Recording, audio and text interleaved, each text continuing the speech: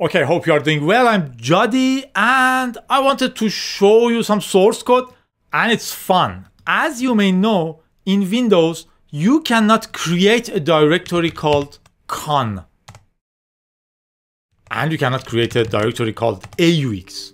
And you cannot create a call directory called com1, communication 1. You may know it. And you may know the, re the reason. The reason goes back to the DOS era, 90, 80s. 83, I think, DOS 4.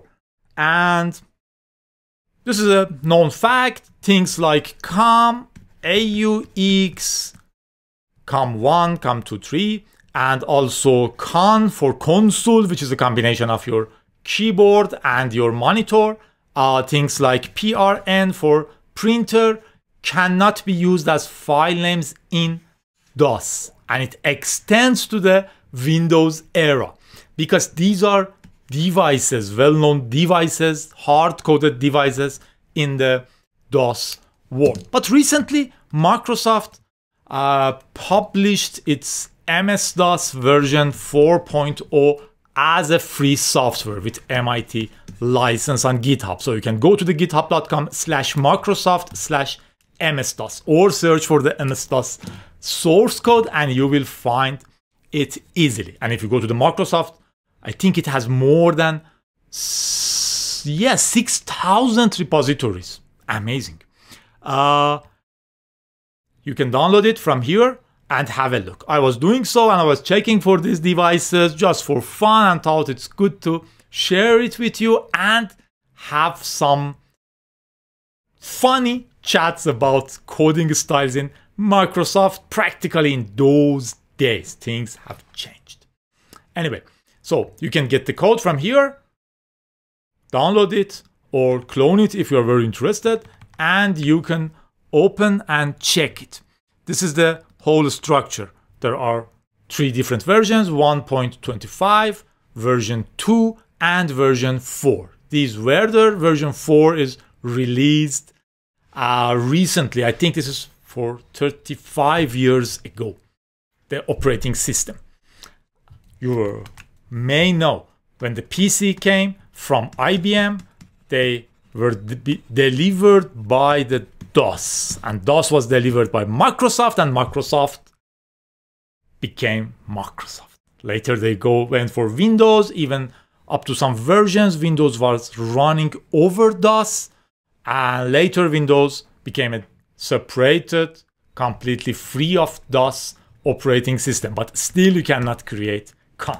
Let's have a look why. Uh, I was checking the whole source code. It's fun to see how it works. There is one BIOS directory which does BIOS st stuff. The boot directory boots the system.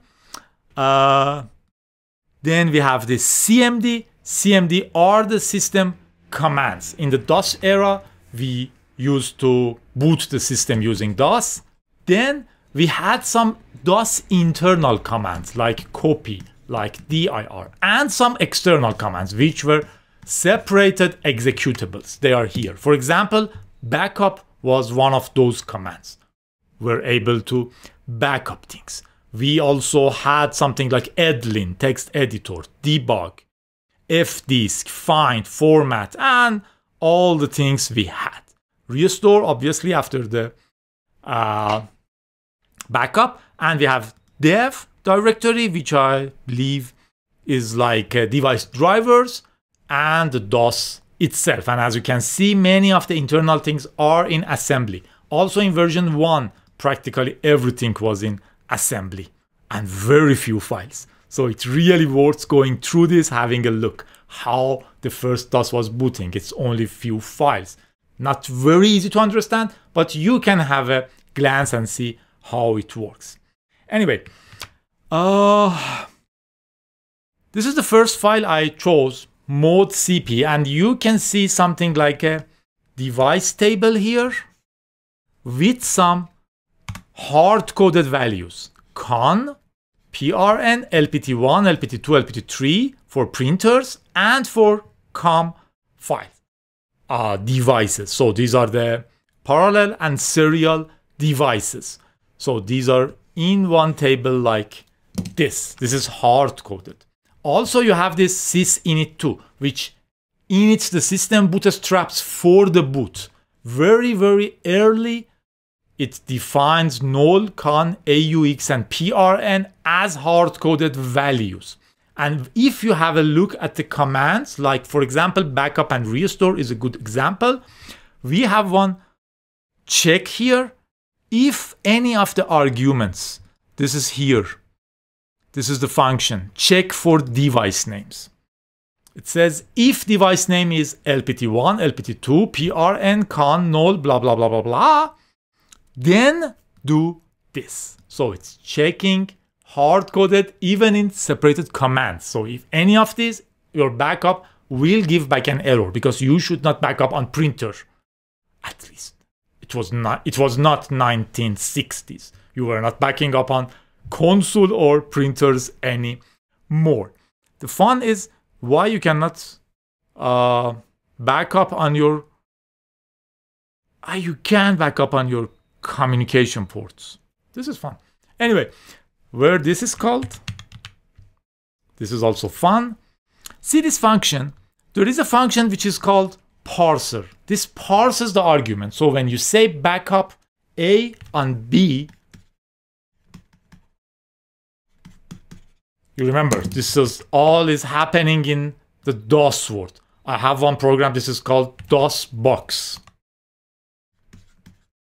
And this will give you a DOS prompt and a DOS box in your modern operating systems.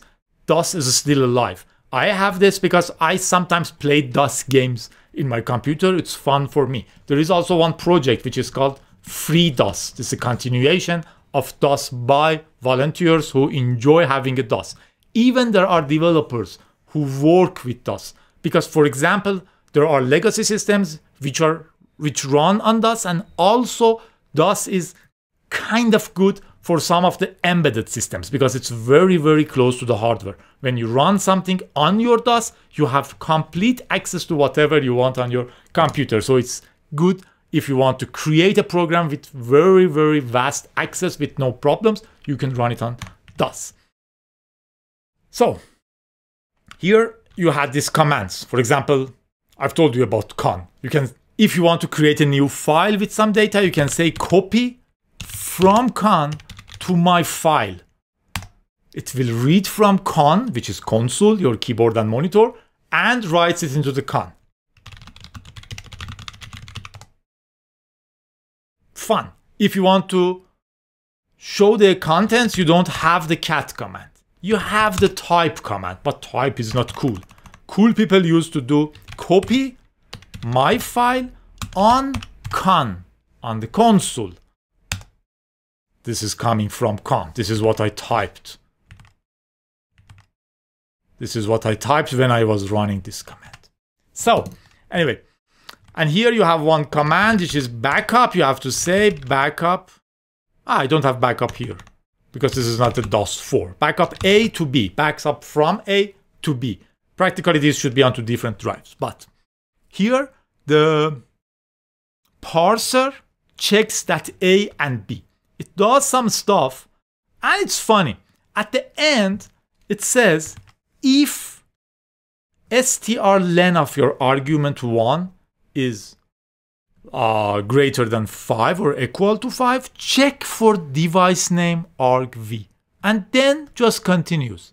This is not common at all these days. If write like this, your teacher, your professor, your uh, co-programmer, if you are pair programming, your boss, your reviewer will complain that what are you doing here? You should say if check device argument is device name, your argument, say you cannot use a device here. Else do the backup. What is this? It is fun. And remember, this is code Microsoft sold to IBM. Time is changed. Obviously, this was not bad code in 1980s. So here it just checks and continues. Why? Let's go back here. in our function, it says, okay, start, define invalid parameter 10. This is also fun. I will tell you why soon. Check four parameters. If your parameter is this, or this, or this, or this, or this, or this, so you cannot do this. Create a value, create a flag, check the width of the screen maybe, and display the error, invalid parameter display it, check the uh, set the return code, and clean and exit. So practically in the previous function, you have parse. You say, okay, my arguments are this. Check if it's this, continue. Because if this is a device name, your program will exit from this function. Nowadays, this is considered ugly.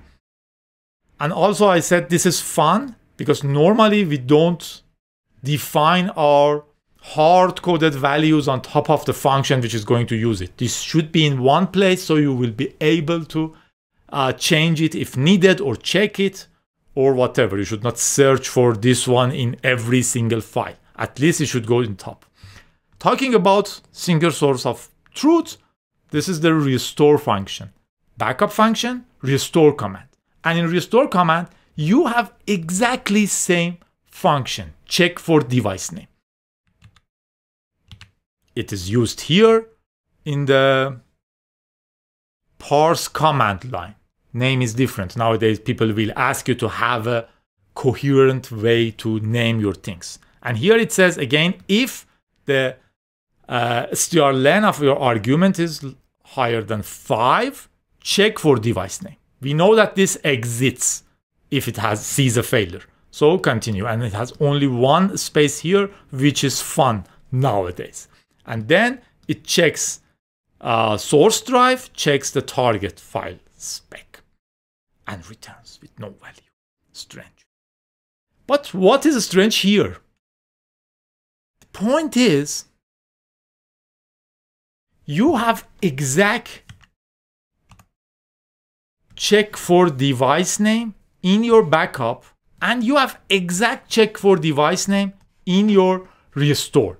This is not good practice nowadays for many, many different reasons. For example, if you find a bug here, you have to fix it here too. If you are adding a new uh, hard coded device like JDI or JADI, you have to add it here, add it here, search where else is using the same uh, function, check, uh, change it there. So it's very, very dirty and difficult. Nowadays, the good method is having this in one specific place. And both of these should import, call, include, or whatever language you are working with this specific parameter. So you will have only one of these. This is also fun. Talking about fun things, copy as is part of the, in the commands, internal commands. Uh, this copies one file to another. The fun thing is this is before uh, Git era. So on top of the file, there is a section which says, okay, on 1st of 11th of 83, added a new line at the end of blah blah to get multiple file concatenation, concatenation. As like this. This is cool. And whenever they fixed an error, they added it here. For example, they say, in this time, maybe the user EG, I guess, change to use x name transcall to verify that source and destination are not equal. Cool. Before that, in previous versions, previous releases, you could copy one file to itself. And you can see that this is added here for this, blah, blah. Anyway, this is also fun. This was uh, before Git for sure. And that's it. That's what I wanted to show you. First, we are not calling this a bad program. I'm showing you how we evolved during all these years from uh, 1986 to 2024. Now your teacher won't accept having a function in two different places, exact same function, won't accept defining your constant on top of your functions, difficult to find, not returning values, and this kind of stuff. If you wanted to check it by yourself, again, go to the github.com slash Microsoft slash MS dash DOS capital letters. Also, uh, search for it would be easier, MS DOS source code. Thanks for to Microsoft for releasing this. Thank you for watching this. And this can give you kind of an insight. Whatever you do is not directly increasing your capabilities, knowledge. They add to your knowledge. But this is not a after reading i may read this for another couple of days. This is fun for me. We'll check different parts how they done this how they define the fat and everything. Fat file allocation table. Their old file system. It was fat 16 but when wandering in codes like this it's like wandering in a new city. You will learn new things. You will get better insight. This is, might be better uh, way to use your time instead of, I don't know, doing something else. They might be better than this. Who knows? This is your time. You will say what you do. What I want to say with my not good, that good English is doing this kind of stuff will give you an insight which many programmers who just learn about algorithms, go to the classes, uh, read the scientific articles won't have you will get a vast eagle view to the whole history. It's like a soccer player who reads about the history of soccer. Spend a couple of times, check this code, see parts of it. Even if you don't learn directly anything, you will have a better insight. Have fun.